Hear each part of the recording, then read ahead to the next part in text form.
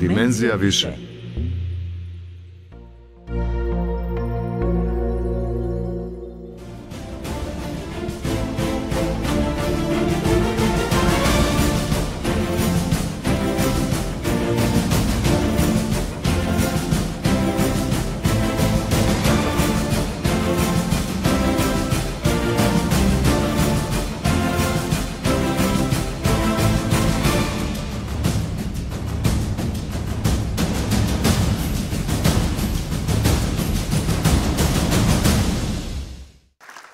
Predstava Schindlerov lift Darka Cvjetića u režiji Gogana Mladenovića je u produkciji Kamernog teatra 55 Sarajevo apsolutni je pobjednik 38. susreta pozorišta kazališta u Brčkom. Ali ova, kao i sve druge odluke o nagradama koje je donio nekompletni žiri, ostaju na čekanju jer su pojedini akteri predstava te pozorišne kuće odlučili da u znak protesta zbog učešća u radu žirija glumca Branislava Lečića budu izuzeti iz takvičarske selekcije. Nažalost, došlo je do određenih problema u razumijevanju onoga na koji način ovaj festival funkcionira, ali e, to nije ni u jednom segmentu umanjilo e, kvalitet niti festivala, niti e, izvođenih predstava. Oni koji su apsolutno i uposlenici i pozorišne kuće odbili nagrade, to je Narodno pozorište Sarajeva i Bosansko narodno pozorište Zenica. Ostali ostali su ovoga, ili neće kuća, a oće uposlenici, ili neće uposlenici, a oće kuća, ili oće pola uposlenika, a oće pola neće. Tako da čekamo da se ovo polako slegne, da napravimo a, konačno, konačno a, bilans i da onda izađemo pred vas sa onima koji su prihvatili i nagrade, ovogodišnje nagrade festivala. Da se sudilo o kvaliteti izvedenih predstava u Brčkom, da se nije ispriječio izvan teatarski razlog, bila bi ovo jedna po dometima pozorišne umjetnosti veoma uspješna sezona Brčanskog festivala. Slavio bi Kameri teatr 55 iz Sarajeva ponajviše, jer je pored Grand Prix akterima njihove predstave Schindlerov lift, nekompletni žiri namijenio još šest nagrada – Kokanu Mladenoviću za najbolju režiju, za pet djevojčica i dječaka u kategorijama najbolja mlada glumica glumac, Ireni Popović za muziku, a Disi Vatraš Selimović za scenografiju, a Maji Izetbegović za najbolju žensku ulogu. Izvini, možeš doći e, neko drugi put, sad nije baš najbolje vrijeme. Doći ću za sad. Slavio bi teatar u cjelini jer je predstava poput Schindlerovog lifta ili Zenička sedam strahova važna za ukupno preispitivanje morala, istine, preispitivanje svakog pojedinca koliko je mogao doprinijeti da se zla iz bliske prošlosti ne dogode, da nam stvarnost bude manje opterećena, pa i pojavama nasilja i seksualnog zlostavljanja žena – I bilo bi više žena koje bi se suprostavile svojom snagom i energijom, poput Jakovice iz predstave Usidrene u produkciji Hrvatskog narodnog kazališta Split, Gradskog kazališta Gavela i HNK Zadar, koji je tomačila Anja Šovagović-Despot, te je odlukom nekompletnog žirija namijenjen Grand Prix susreta za najbolju žensku, a za mušku Slavenu Vidaku u predstavi to nikada nigdje nije bilo u produkciji Narodnog pozorišta Sarajevo. Sarajevskom narodnom namijenjena je i nagrada za najbolju predstavu u konkurenciji bosansko-hercegovačkih teatara Zlatna statua vječnice i grada Brčkog. Nagradu za najbolji kostim Ivani Ristić i najbolju mušku ulogu Željku Erkiću žiri je namijenio za njihove kreacije u predstavi Derviši smrt u produkciji Narodnog pozorišta Republike Srpske Banja Luka. Nagrada za najbolji dramski tekst bosansko-hercegovačkog savremenog pisca Statua Zlatno pero nije dodjeljena. S obzirom da na Brčanskom festivalu tradicionalnoj žiri publike ocjenjuje aktere predstava, nagrada za najbolju žensku ulogu jednoglasnom odlukom ide Snežani Vidović u predstavi Sedam strahova Bosanskog narodnog pozorišta Zenica. Najbolju muškom ulogom žiri publike proglasio je kreaciju Admira Glamočaka u predstavi Schindlerov lift Kamenog teatra 55 iz Sarajeva, a najboljom predstavom u cjelini Derviši smrt Narodnog pozorišta Republike Srpske Banja Luka.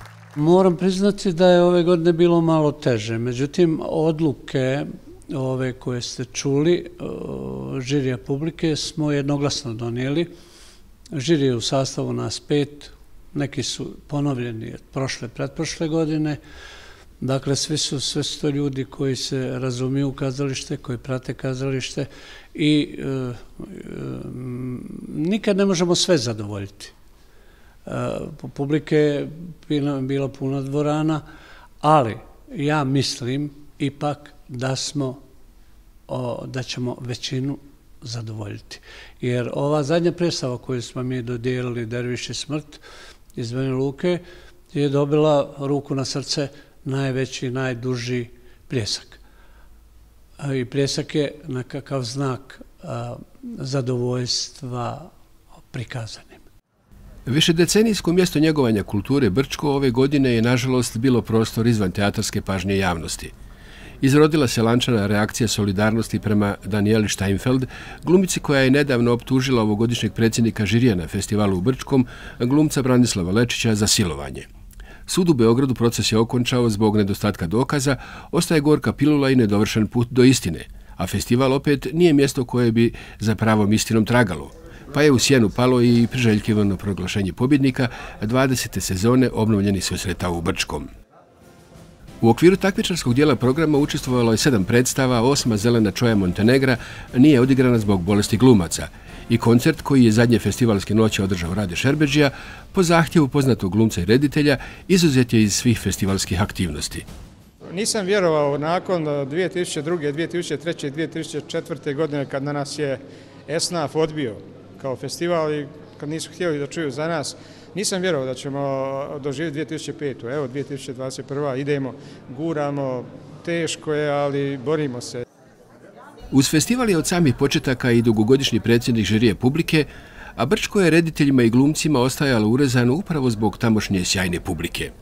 Ja eto imao sam sreću i čast da budem u većini um, tih festivala u žiriju publike.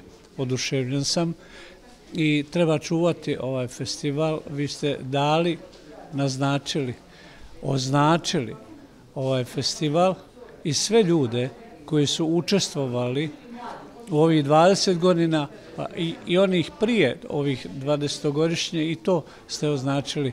Ova izložba što je bila, a, to sam gledao, super je. Odati priznanje ljudima koji su grandiozan prilog dali u, u, u, u događanju svih ovih godina i održanju festivala. Trebamo svi sve učiniti da festival u Brčkom ostane.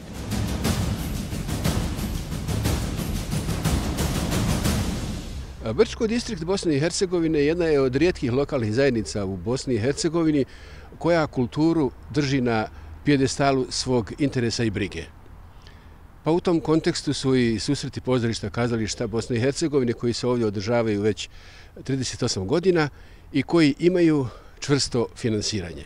Naprosto u ovoj zgradi za mojih leđa sjedi predsjednik organizacijenog odbora, a to je uvijek prvi čovjek grada, dakle gradonačelnik koji zna šta festivalu treba i na koji način treba praviti neke planove za njegovu bolju budućnost. Susreti u Brčkom takvu budućnost za sada imaju stabilnu i solidnu i na tome mogu pozaviditi mnogi gradovi i mnogi festivali u našoj zemlji. Analizirajući trenutno stanje pandemije, dakle neka kretanja, u svu bojazan koju, koju je ovaj, dakle, ova odluka da se festival održi e, nosila, nismo e, htjeli propustiti da se dakle, neposredno publika da okupi i da prisustuje e, ovom, dakle, za nas u Brčkom, a vjerujem i za region velikom, velikom kulturnom događaju.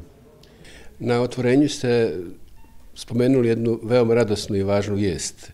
Brčko, dakle, uz pozdrašu tradiciju koju ima kroz ovaj festival, koji je skoro pola stoljeća ovdje među građanima ovog prostora, će dobiti uskoro i pozorište kako, kada i s kakvim ljudskim resursima, prije svega kreativnog karaktera, raspolažete i računate? Pa nama se često prigovara da je Brčko grad e, susreta pozorišta jednog e, dakle, velikog i u istinu e, značajnog festivala, ali nema vlastito pozorište. To su unutrašnja prigovaranja ovdje, ovdje u Brčkom i jako i veoma opravdana svaki grad koji pretenduje da bude ozbiljan grad, dakle, treba imati vlastito pozorište. Brčko ima te potencijale, mislim na e, ekonomske i finansijske potencijale. Trebalo je što šta da se posloži u smislu nekih možda i političkih e, odluka i mi ćemo, ako Bog da ove e, godine, evo već smo pri kraju, ali krećemo sa pripremama da se formira Brčansko pozorište sa jeli, pretenzijama da ako Bog da i na svom festivalu učestvujemo sa vlastitom produkcijom. E, mislim da ćemo u narednoj godini već formirati isto. Radimo i na rekonstrukciji objekta kamernog teatra koji smo, ovaj, dakle, prije rata objekat taj smo posjedovali.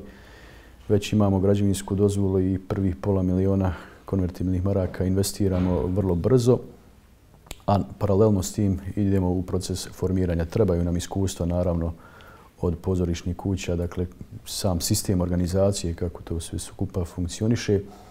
Imamo i ovo iskustvo održavanja festivala, tako da vjerujem da ćemo, dakle, ovaj, e, sa bez velikih poteškoća e, dočekati dan da, da, da Brčko, u Brčkom zaživi Brčansko pozorište i da to bude jedan dan koji će se u decenijama poslije pamtiti kao veliki događaj za ovu zajednicu. Jedna od rijetkih lokalnih zajednica koja bezrezervnu podršku daje, dakle, festivalu koji opet daje e, nekako kulturni e, tonalitet e, kompletnoj godišnjoj produkciji. Koliko ste ponosni kao žitelj ovog grada na takvu činjenicu i e, na koji način je to faktički primjer drugim sredinama da podržavaju ono što je najvrijednije u svakoj društvenoj zajednici, a to je sigurno kultura? Pa podrškom festivalu mi u stvari podržavamo i odluke ondašnjih e, e ljudi u brčanskim e, institucijama koji su donosili odluke kada se krenulo sa festivalom 73. prošlog e, stoljeća.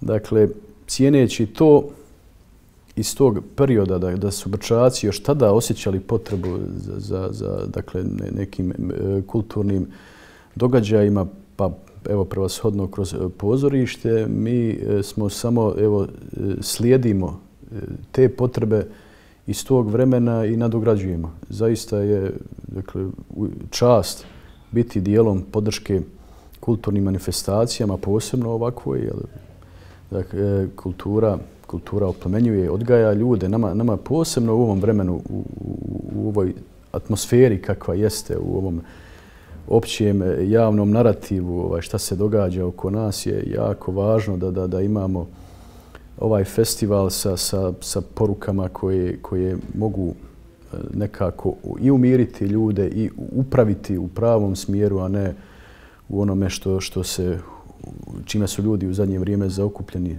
Pa čak ja primjećujem i strahom što, od neizvjesnosti šta se može događati na ovim prostorima. Koliko je umanjila tu ljepotu i radost e, tih e, teatarskih druženja, činjenica e, da je ova informacija koja je od drugog dana krenula nekako u opticaj o prisustvu Branislava Lečića u žiriju poremetila faktički onu atmosferu koju vi inače ovdje ostvarujete? Ja nisam primijetio da je posjećenost festivalu manja, odnosno dakle, predstavama koje su se nakon toga svih večeri održavale. Jedino mi je žao e, brčanske publike koja je ni kriva niti dužna dakle, da eventualno trpi e, neke odnose negdje druge koji su se događali. Bez da upadam u zamku sada da držim bilo kome ili bilo čemu stranu, ali bi sviju zamolio da e, poštuju brčansku publiku i da, i da nas nekako oslobode dakle, tih nekih poruka koje se upućuju jedni drugima.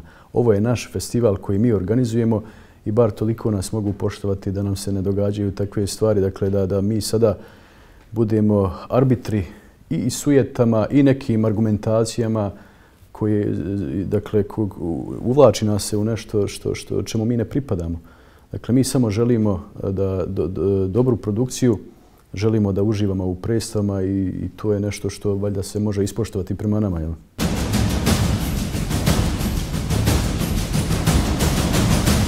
Prve večeri vidjeli smo dramu Usidrene po tekstu Elvisa Bošnjaka i u režiji Anastasije Jankovske.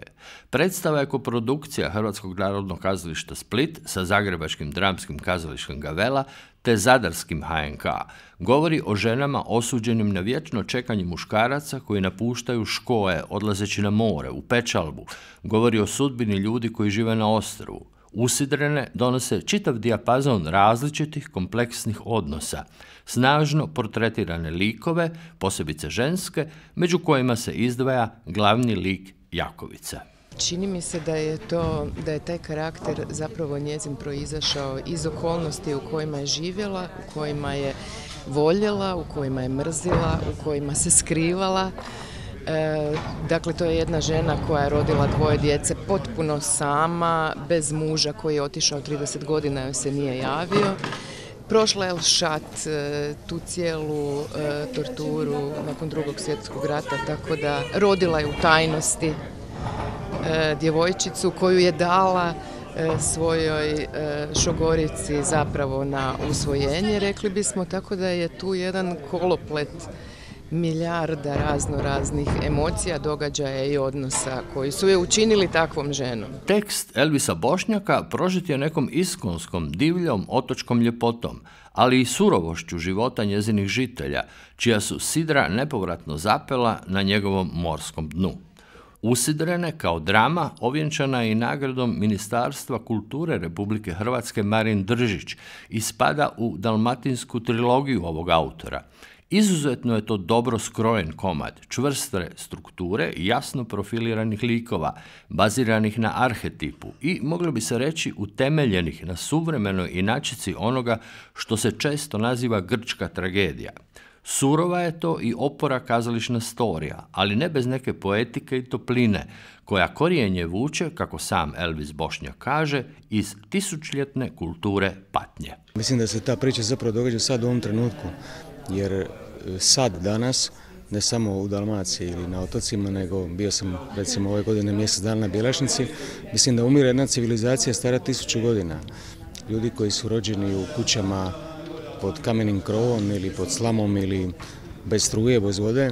Dakle, to je jedna civilizacija, jedna kultura patnje koja je e, živjela sve tamo negdje do 50 i 60 godina vrlo aktivno i ti zadnji ljudi koji su rađani u takvim okolnostima su se rodili negdje 60. godina na latinskim otocima i još uvijek su živi. Režija Anastasije Jankovske je u prvom dijelu predstave poput palube gdje se uspostavljaju komunikacijske razine pojedinih likova, a drugi dio je preplavljen emocijama, potrebom da likovi jedni s drugima razgovaraju, da prigovaraju, da saopšte neke istine i tajne. Mislim da je danas kazalište, mm, kažu se aktualno kazalište, ne mora to non stop prikazivati ono što čitam u Crnoj kronici, nego ponekad kad kaže Šekspir da je kazalište ogledalo, ali zaboravljam da su u tim ogledalima bila je nekakva smjesa koja je činila ljudi, ljude ljepše nego što su zapravo bili. Tako da ja tako razumijem tu tvrdnju da je kazalište ogledalo. I zato imam osjećaj da treba ljudima pokazivati put. Mislim da se sad na sceni treba voljeti kako se ne voli u životu, da treba e, stajati na svojim nekakvim idealima na kojima danas jako rijetki uspiju se izdržati do kraja i zato, zato naravno da kazalište mora nešto pojačati. To je to ogledalo za mene. Druge večer odigrana je predstava 64. atelja 212. autorice Tene Štivičić i u režiji Alise Stojanović, svojevrsna nedovršena partija šaha, jer glumci iz pomenutog razloga bunta protiv činjenice da je u žiriju glumac Vranislav Lečić nisu davali bilo kakve izjave o samoj predstavi. Niti su željeli govoriti na okruglom stolu kojim se zaokružuje umjetnička elipsa svake predstave nakon nastupa pred brčanskom publikom. Ovoj drami Tena Štivičić razotkriva intimu savremenog bračnog para koji se lomi pred teretom očekivanja, onih vlastitih, iznevjerenih, međusobnih i onih koje im nameće društvo. Naslov komada kao misaona imenica, kao asocijacija na posvećenike drevne igre na 64 polja, ali već sama scenografija sugerira kako je riječ o iskošenom pogledu na ljudsku zbilju – Scenom promiču protagonisti koji se obraćaju baš nama, svakom pojedinačno, svoju sudbinu, razmišljanje ili muku, svaku izrečenu riječ na sceni dijeli sa svima. Vlastiti i individualni strah od sebe postaje opštim. Traže odgovor, traže spas, jer jedino bijeg od istine nije moguć. U rediteljskom rukopisu Alise Stojanović tek su rijetki trenuci kada se dva glavna lika obraćaju jedno drugom neposredno, licem u lice, oči u oči. Iako ponekad djeluju kao automati koji izgovaraju bujicu riječi za čije poimanje treba biti dobro potkovan riječima stranog porijekla, stručnim izrazima, te nimalo ne čudi rečnik pojmova, a afiši predstave 64, Njihova rečenica je duboko ljudska, nesavršena. Osjećamo zareze u rečenici. Akteri ne biflaju tekst, već ga proživljavaju. U tome tokom cijele predstave duge skoro 120 minuta prednjači Hanna Selimović koja igra lik Eve.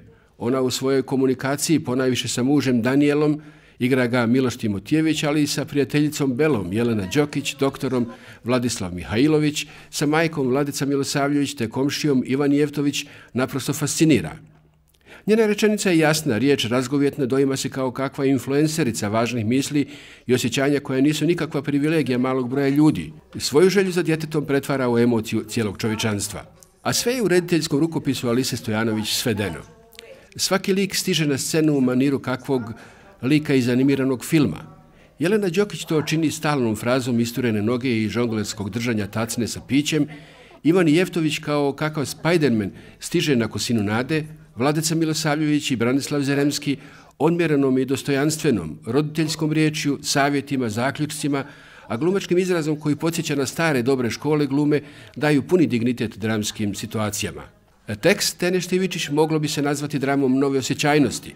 To je nova generacija savremenih dramskih pisaca koji se hvataju u koštac sa kompleksnom socijalnom i globalnom slikom svijeta, naspram onih davnih u kojima je istina svijeta sazdana u strukturi duše. Takvo opredeljenje uz bilji dramske riječi i režije Kotene Štivičić i Alise Stojanović sretali smo i u drugim prilikama.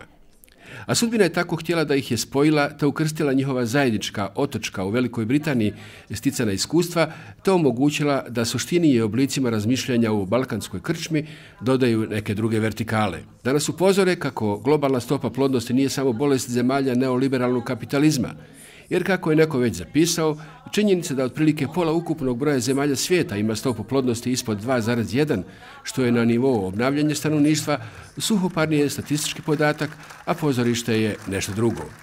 U publiku je ovo drugo dotaklo druge večeri 38. regionalnih susreta pozorišta kazališta u Brčkom. Protagoniste su nagradili dugim burnim aplauzom. Treća večer 38. pozorišnih kazališnih susreta u Brčkom dovela je umjetnički ansambl Narodnog pozorišta iz Sarajeva sa predstavom To nikad nigdje nije bilo, rađenoj po motivima poznatog romana Istorija bolesti, romanopisca, putopisca, scenarista i eseista Tvrtka Kulenovića. Predstava je odigrana u okviru Noći teatra. Adaptaciju teksta i dramatizaciju potpisuje Darko Lukić. Predstavu je režirao sa punim poštovanjem prema svom nekadašnjem profesoru Lirski i Toplo Dino Mustafić. Dramaturzi su Vedrana Božinović i Darko Lukić. No, poslušajmo što dramaturgija kaže kada je riječ o postavci tog romana na scenu. Mislim da je ovo predstava o gubitku i mislim da ona na izvestan način vrlo komunicira sa današnjim vremenom, jer u moru svih ovih gubitaka koje doživljavamo, čovjek postavlja pitanje da li lični gubitak može biti nešto o čemu se pravi umjetnost. Ja mislim da može i mislim da ova predstava govori upravo o tome. To je knjiga koja govori o vrlo ličnoj vrlo ličnom gubitku i e, mi smo to pokušali nekako inkorporirati u predstavu, tako da osim e, knjige Tvrtka Kulenovića koju je dramatizirao Darko Lukić, moj zadatak je bio da u predstavu ubacim priče o gubicima dokumentarne priče ansambla koje uvijek ne govore ljudi koji su ih i pričali tokom proba i koje nisu uvijek istinite. Izvanredno usklađena i minuciozna igra čitavog glumačkog ansambla jedno je od osnovnih obilježja predstave. Misao i glazba bešavno se spajaju u tom na momente izrazito lirskom komadu o zaboravu i sjećanju, o bolu i tuzi zbog gubitka voljenih osoba, koje neopazice nestaju iz naših života. Njihovo trajanje nepovratno se gubi, klizi nam kroz prste, a niti ne shvaćamo da istodobno sa njima gubimo i dio sebe – a kada to shvatimo, biti će već kasno. Njih više nema, ne postoji više ni najmanja mogućnost da im kažemo sve ono što smo propustili, zaboravili ili se naprosto nismo usudili reći im dok su bili živi tu među nama, a sada je kasno, bespovratno kasno. Predstava je to i o malim radostima i trenucima sreće koje nekada također niti ne uspijemo prepoznati i opaziti na vrijeme. u trenutku kada se događaju, a poslije na njih zaboravimo kao da ih nikad nije bilo. Glumačku ekipu predvodi vrlo siguran Slaven Vidak. On je pisac sam Tvrtko Kulenović, Vedrena Božinović, njegova je supruga Lidija, Kača Dorić, fascinantna u roli njegove majke, ulogu oca nosi Ermin Sijamija, Aldin Omerović, tvrtkov je brat Zoran, u fino izbrušenoj glumačkoj minijaturi sjajna Emina Muftić predvodi komšije, komšinice i ostale protagoniste ove, unatoč broju lica koje se pojavljuju, ipak vrlo komorne i intimne kazališne drame. Ja se moram iskren biti, ne osjećam se nešto glavnim u smislu ovaj likova u predstavi. Naravno, ovaj osjećam se glavnim što igram samog tvrtka. Eto to tu sam glavni ovaj tako da a biti pisac mm, nije, nije lako, ovaj puno je stvari tu kola kroz glavu, jedan takav britki um koji nam je ostavio velika dijela koji nas je zadužio veliku sam tremu imao uopšte kad smo počinjali da radimo i Rekao sam jednom da sam se ukeketio, pa mi je gospođa Alma Kulenović, supruga Tvrtkova, rekla da sam baš pogodio tvrtkovski izraz. Ovaj, ima da nisam to čuo nikad od njega, ali da, zaista ovaj, bila je velika odgovornost.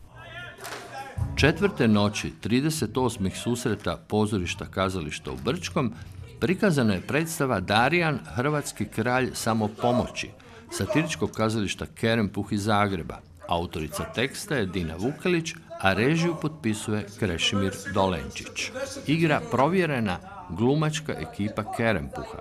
Predvodi je Borko Perić u naslovnoj roli. Svijet se mijenja, ljudi se mijenjaju, pa se tako i heroji jednostavno mijenjaju. Sad, da li se mijenjaju na bolje ili na gore, to je tek nešto što trebamo ovaj, eh, vidjeti kako se i, i, i na koji način stvari oko nas eh, mijenjaju. Možda ovako iz nekako paušalnog nekog, eh, možda i na lošije, ali opet nekako računa čovjek da možda bude ponedjeljkom lošije, ali već u srijedu bude malo bolje, tako da ovaj, evo, tako se ja nadam da će to biti, ali i heroji se mijenjaju, da. Kazalište, hvala Bogu, na ovim našim prostorima je radilo prošlu godinu kad svjetska kazališta nisu bila u toj mogućnosti. Više se na West Endu se skoro nisu ni otvorila jer nema kome, nema te zarade, nema ovaj, o čemu će progovarati, to su ogromne produkcije. Tako da smo mi sretni da i u ovom dobu smo našli nešto vrijedno za pokazat. E, meni je žao najviše tih mladih ljudi koji e, kroz školu, kroz izlaske, kroz kazalište, kroz kino, ipak ne dobiju sve ono što smo mi u, u njihovim godinama a, željeli ili trebali ili tako, pa evo, ovo je neki mali olakšavajući pristup tome, samo da evo iz umjetnosti možeš vidjeti kako, kako se nositi sam sa sobom. Predstava autoricu smješta u kontekst distopijske satire smještene u blisku budućnost, kada nesretnom narodu u spas dolazi super junak novonormalnog doba, čist, neokaljan i vanjskim svijetom neokrznut Darijan. Spisateljica prati njegov put kroz postaje društva načetog pandemijama, nesrećama, izolacijom i samoćom. Doba je dakle poput našeg, kada tehnologija i virtualni svjetovi preuzimaju živote, a pojedinca preuzima želja da se pod svaku cijenu spasi i pronađe instant recept za sreću. Pratimo Darijanove susrete, spoznaje čuda, preobraćenja i njegov gotovo magičan utjecaj na sudbine nesretnog naroda, jednog pogubljenog kolektiva naše nesretnije budućnosti – u Darionovu nevinom i neokaljanom pogledu na novo normalni ili nenormalni svijet otkrivaju se začudnosti i absurd postojanja. Predstava se poigrava mnogostrukošću kazališnih formi i postupaka. Čas je to na samom početku uvod što će podsjetiti na same početke teatra, neku antičku dramu kroz koje nas vodi drevni kor. Trenutak kasnije smo u komornoj drami što se odigrava između oca, gnjevnog i čangrizavog starca i bića o kojem se brine, ali tako što ga je zatočio, onemogućio mu izlazak u stvarni, vanjski, živi svijet. Darijan tako zapravo i nema predstavu o tome što se vani uopće zbiva. On se, poput nekog autista, kreće tim njemu potpuno stranim svjetovima i prostorima, odmah zatim gurnuti smo u virtualni svijet, u blještavilo i šarolikost nekog reality showa, u mutne vode TV medija gdje su granice manipulacije i preoblikovanja ljudskih duša nemjerljive. Najzad i sam glavni junak, Darijan, postaje hrvatski kralj samopomoći, Njegova karizma dovoljna je da preobražava zalutala ljudska bića i stvara od njih nove ljude, da bi sve završilo u toplini ljudskog zagrljaja, njega i čovjeka koji ga je odgojio, jer, ne zaboravlja poručiti ovaj komad, topao ljudski zagrljaj, zabranjen i prognan iz ponašanja ljudi u doba vladavina pandemije, jedino je zapravo što odista danas trebamo. E, pete festivalske večeri trebao je nastupiti ansambl Beogradskog dramskog pozorišta u koprodukciji s Gradskim pozorištem Podgorica i grad Teatrom Budva e, sa predstavom Zelena čoja Montenegra nastalo je po motivima istoimenog romana Mome Kapora i Zvuke Džumhura u režiji Nikite Milevojevića. Bolest nekoliko protagonista ove predstave onemogućila je njihov dolazak i nastup na festivalu, a šeste večeri nastupio je Kameni teatr 55 Sarajevo, odigravši Schindlerov lift Darka Cvjetića pod režiserskom palicom Kokana Mladenovića. Krenuli smo bukvalno, ali najbukvalnije od čitanja romana, ovaj, gdje je cijeli ansambl ovaj, imao roman pred sobom i čitali smo to i onda smo na osnovu i Darkovih inputa, jer i on je bio jedno vrijeme s nama na probama, ovaj, iz tog materijala izvlačili upravo ove ovaj, priče koje, koje ste imali priliku i da pogledate. I da, jako teško je bilo, ovaj, odabr, bile su to ono slatke muke, ovaj, odabrati, napraviti odabir eh, iz materijala, jer pored romana mi smo i koristili jako mnogo Darkove poezije, koja je i tekako, i tekako islikovita i ima jako mnogo ovaj, priča u njoj koje su isto tako našle ovaj, ili u fragmentima ili čak, čak ovaj, u mnogo većim cilinama našle svoj dio, jeli, na, ovaj, odnosno u tekstu predstave, tako da ono, bili smo na lijepim mukama, ali mislim da u, jeli, u cijeli ansambl, dakle ovo je zaista ansambl predstava, ovaj, da, smo, da smo zaista uradili jedan i velik napor, ali dobar posao. U dva nebudera smjestila se ukupna tragedija Bosne i Hercegovine, potresna drama o stradanju, odsustvu humanizma, tinjevićem zlu, mržnji, strahu od budućnosti, o propitivanju uloge svakog pojedinca kako bi se približio drugome, udahnuo mu ljubav. Traganje je to za putevima svjetla. Dok se nešto drastično u našim e, DNK e, lancima, u našim e, mozgovima, u našim srcima radikalno ne promijeni na bolje, uvijek će nas opominjati. I bojim se da je ovo neki prostor koji je natopljen nekom, nekim prokledstvom i to prokledstvo stalno svako nekoliko desetljeća izlazi van i opet pravi to što pravi. Tako da moja jedina, jedina želja kao mislenog bića i bića koje osjeća je da svaki čovjek pona osob dobro, dobro, dobro, dobro razmisli sam sa sobom koje su to stvari koje sam kod sebe mora da promijeni da bi ovo društvo koje mi živimo i društvo koje ostavljamo našoj djeci i našim unucima, pravunicima i budućim generacijama živjelo, a da to više nikad ne podsjeća i da to zlo više nema tla na kojem može biti. Na pozornici gledamo prizore strahote, hara užas, sirova nesputana sila, ali su tu i djeca, vojnici igračke, tenkovi, bageri koji iskupavaju mrtve, soliter je izgrađen od Lego kockica. Gledamo prizore rata žitelja Nebodera protiv Golubova koje žele uništiti. Kasnije vidimo da se to isto događa svima i samo zato što su drugačiji i različiti. Znakoviti scenski znak Lego kockica svojevrsni je panoptikum defragmentiranog svijeta – a predstava govori o realnom svijetu nekad i sad. Ja e, na sreću nemam e, iskustvo crvenog solitera. Ovaj, ja sam bio u Sarajevu e, i nekako koliko god je to bilo tu, svuda oko mene, bilo je daleko. Mislim, nije mi bilo ono, na susjednim ulaznim vratima. Ne znam, nakon ovoliko godina, da li je strah nešto što, da li je zaluđenost, da li je, ne znam, mislim, eh, ne bih da ja dajem odgovor, ali bilo bi divno da, eh, ja mislim da smo i napravili ovu predstavu da eh, svako sebi postavi to pitanje koje ste vi postavili meni. Ja mislim da bih drugačije ali kada bih bio u toj situaciji, ne znam. Crveni soliter na čim zidovima su preostali tragovi krvi, dokument je zla koji se preselio u literaturu. Predstava je kao i roman metafora zla, umjetnička elipsa o stradanju jedne djevojčice u liftu crvenog solitera. Bol nije iščezla, ostala je kao trag vremena u jednom gradu koji je mogao ostati zapamćen po nečemu sasvim drugom, po nekim ljudima za ponos, po likovnim umjetnicima, narodnim herojima ili po najvećim šampitama u bivšoj Jugoslavi, ali nažalost nije. Zato se autor Schindlerovog lifta u kojem jedna profesorica odlazi iz grada i historije, a on ostaje i u gradu i u historiji, ne bez razloga pita kako se pomiriti s bolnom istinom da živite u gradu koji je rupa svijeta poznata po ratnim zločincima i logorima. Ima li katarze? Da li će pomoći o ljuđivanju? Pogubnost sjećanja na povijest osjetit će masovni sjećari, sram vječnosti u kontrapovijesti osjećat će sinovi za očeve, ali Katarza je daleko. Bosansko narodno pozorište Zenica pred posljednje večeri susreta predstavilo se predstavom Sedam strahova Selvedina Avdića u režiji Selme Spahić. Roman su adaptirale Emina Omerović i Selma Spahić.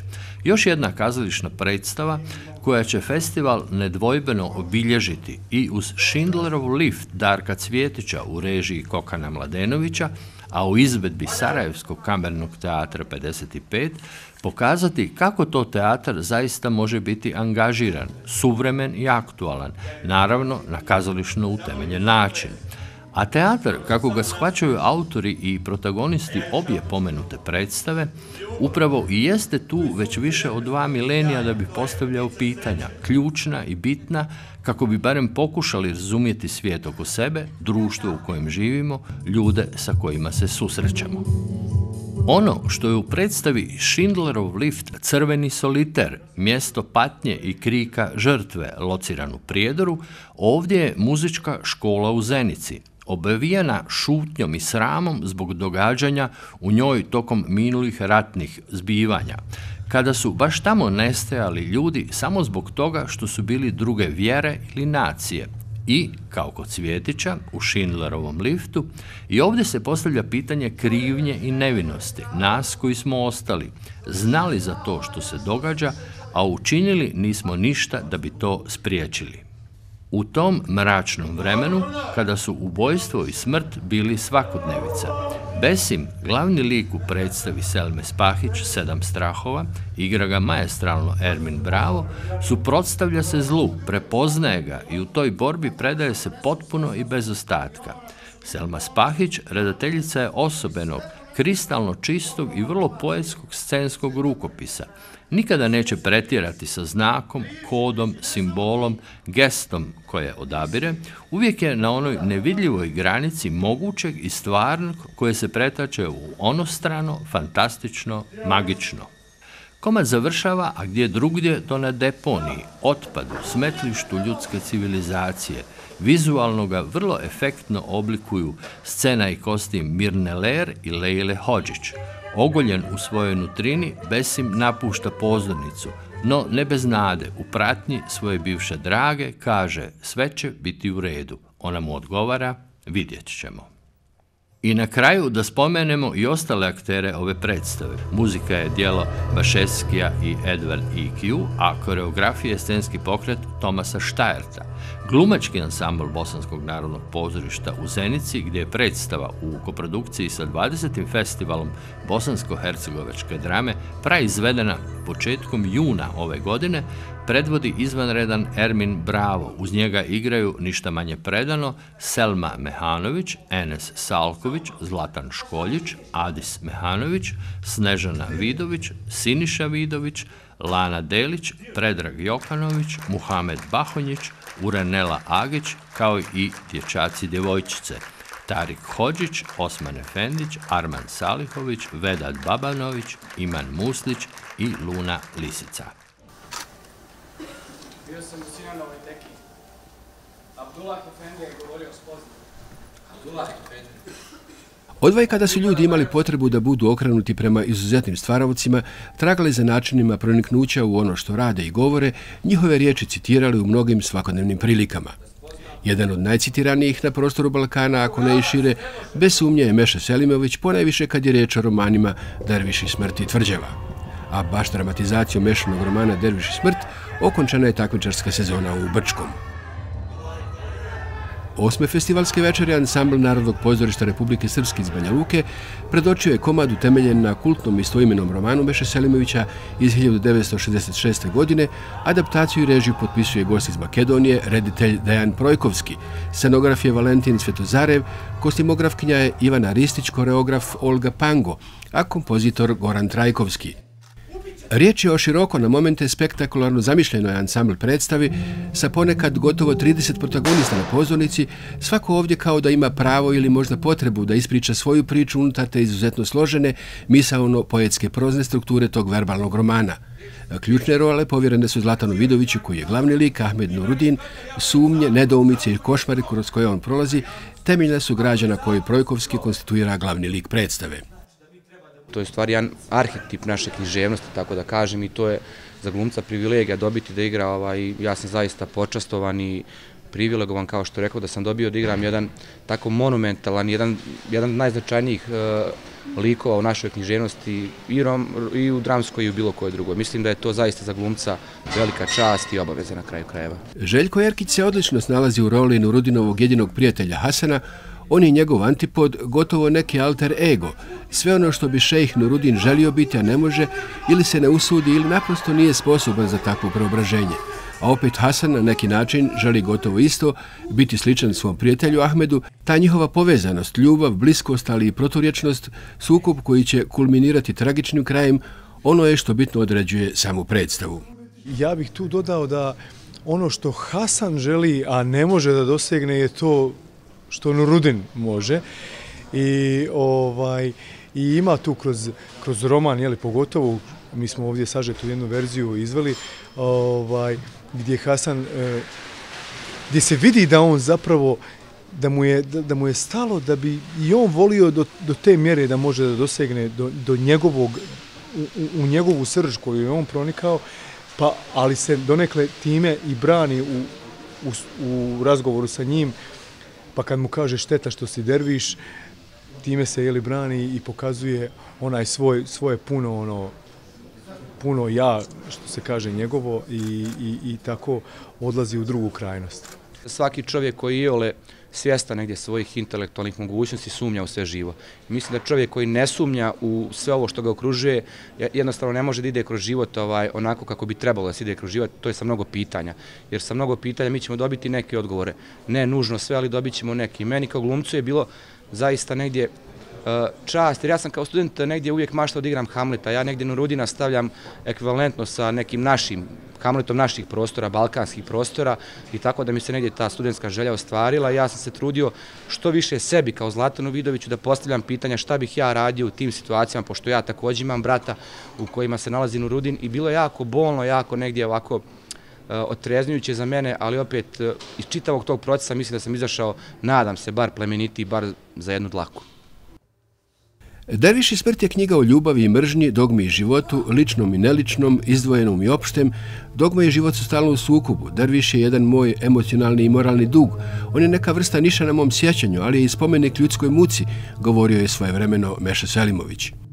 A tu ljudsku muku nije teško prepoznati ne samo u glavnim, već i u drugim likovima u Bjeguncu Bojana Kolopića, Mule Jusufu Radeta Kostića, Kade i Duška Mazalice, Kadinici Anje Ilić, Mufti Ljubiše Savanovića, Muselimu Danila Kerkeza, Karazajmu Roka Radiše, Džemalu Ognjena Kopuza, ocu Boška Đurđevića. Projkovski se u dramatizaciji vodio idejom da roman predstavi koliko je to moguće sveobuhvatno, da ne izostavi priče i sudbine pratećih lica svih onih koji su se našli na životnom putu Ahmeda Nurudina. Naravno, adaptacije i dramatizacije kriju u sebi brojne opasnosti i zamke. Uključivanjem što većeg broja sudionika u igru može poslati hrpa fragmenata koje nije lako uklopiti u osnovni tok radnje. Kao reditelj, Projkovski je poklonik velike geste, ponekad čak i pravih malih egzibicija na pozornici – uvršće na nju pravoga živog konja, čak i jastreba, često gotovo do iznemoglosti ponavljati neke scene i prizore, fantastično i magično dolaze do izražaja kada se atmosfera i duh mešanog romana ne izražava samo kroz riječ, već kroz pokret, krik, tijelo glumca. Često se oslanja na vrlo zahtjevnu scenografiju Valentina Svetozareva, ona ravnopravno igra sa glumačkim ansamblom, junaci predstave poput izgubljenih duša u kafkijanskom kaosu, traže ulaze i izlaze iz svojevrsnog labirinta. Pjesak neumitno curi iz svih prostora predstave, poput vremena koje neumitno protiče kroz naše živote, a mi nismo u stanju da ga zadržimo, da neke drage trenutke, osobe, mjesta zaštitimo od tog nestanka u vremenu i prostoru. Svi su gubitnici u toj predstavi o čovjeku i dogmi, o vjeri, ljubavi, prijateljstvu, mržnji. Svjedoče da je svaki čovjek uvijek na gubitku.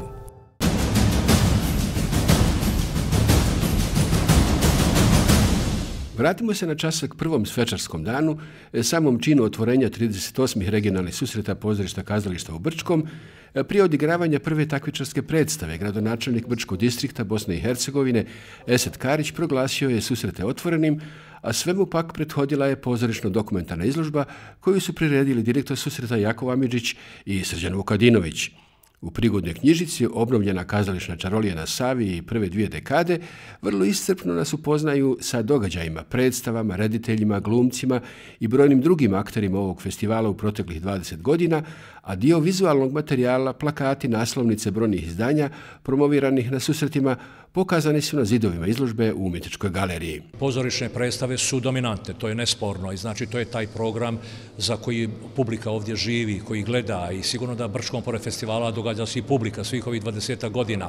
Ali nekako uporedo smo pratili, pokušali da, pokušavali da taj prateći program bude jedna određena ravnoteža, pan dan onome što se dešava na pozornici Doma kulture. Dvije decenije obnovljenih susreta i sretanja nazive monografije autora Jakova Amidžića i Srđana Vukadinovića.